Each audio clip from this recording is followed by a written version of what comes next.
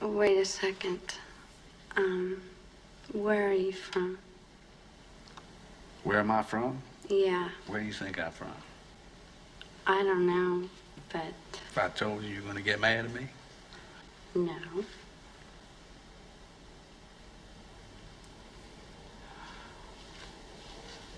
I'm from the Black Forest. That's funny. You're not the um, drama teacher, are you? Maybe I'm the big bad wolf. Um, so you're that guy that's been hanging around the house? You're the one that killed my mom's dog? Your mom's dog was killed? Yeah. I didn't even know anything about that. That's a shame. That's a damn shame. Yes, it was. What kind of dog was it? Hmm. I don't know. He was just. He was uh, fluffy and. Fluffy? Mm hmm. So you didn't do that? Of course I didn't do that.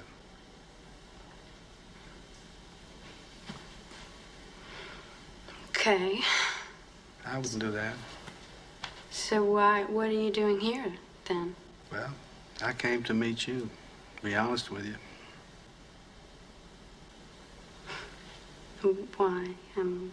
Because I wanted to meet you, see what you're like. I see you're a nice person. So, You're not gonna hurt me, are you? I'm not going to hurt you at all. There's no hurting here, Danielle. Between us, there's no anger, nothing. Just a search for truth. I mean, did you judge me? Did you get angry at me when you caught me smoking the grass? Hmm? No. But your parents, they judged you. They got plenty angry at you, didn't they? Yeah. Mm-hmm. They punished you for their sins. What'd they do? They, um, my dad, they just yelled a whole lot, and, um, my mom cried, and, and my dad said I couldn't drive a Cherokee. Yeah, see, they punished you for their sins. And you resent that. And you should resent it. But Professor Durad has a little advice for you. You shouldn't damn them. Don't judge them. Just forgive them, for they know not what they do. Well, um, why do you hate my father? I don't hate him at all. Oh, no. I pray for him. I'm here to help him. I mean, we all make mistakes, Danielle. You and I have. But at least we try to admit it, don't we? Yeah. Mm-hmm. But your daddy, he don't. Every man carries a circle of hell around his head like a halo. Your daddy, too. Every man, every man has to go through hell to reach his paradise. You know what paradise is? No. Salvation. Because your daddy's not happy. Your mommy's not happy. And you know what? You're not happy. Are you? No, I'm not.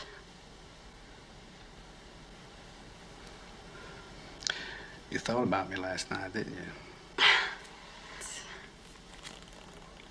Um, yes, I did.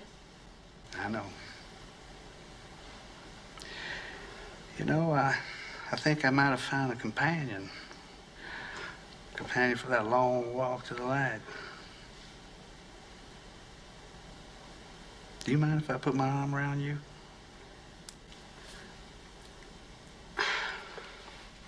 Um, um,